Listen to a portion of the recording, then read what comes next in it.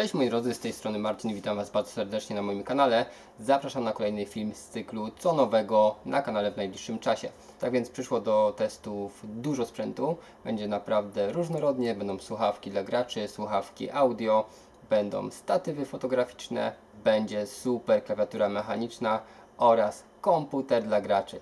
To wszystko zobaczycie już niedługo, a teraz przyjrzyjmy się bliżej tym sprzętom.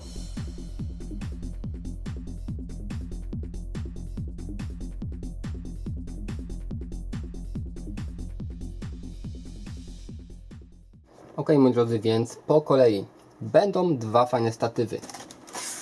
Pierwszy statyw firmy Manfrotto. Jest to statyw Compact Action, bardzo fajny, kosztujący jakieś 300 zł. Zobaczycie sobie dokładne testy tego statywu. Drugim statywem będzie o połowę tańszy statyw firmy Hama Traveler Mini Pro, kosztujący jakieś 150 zł. Również statyw bardzo dobrej jakości. Znajdzie się coś dla fanów klawiatur mechanicznych i to nie byle co, ponieważ najnowsza klawiatura Gamdias Hermes pracująca na przełącznikach Cherry MX Blue. Natomiast zastosowano tutaj takie specjalne nakładki, które obniżają poziom hałasu.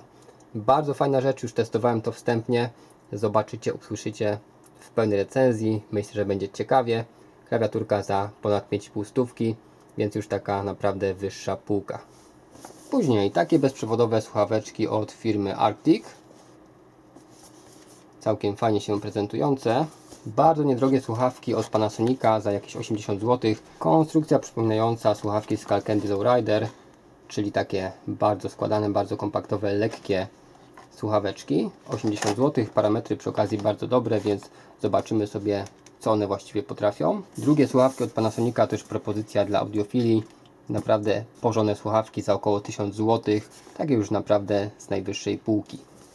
I na koniec, moi drodzy, danie główne, czyli gamingowy komputer od Asusa Republic of Gamers. Bardzo mocny, ale mały komputerek z procesorem i7 chociażby, dużą ilością RAMu i innymi świetnymi rzeczami. W komplecie klawiatura mechaniczna i myszka.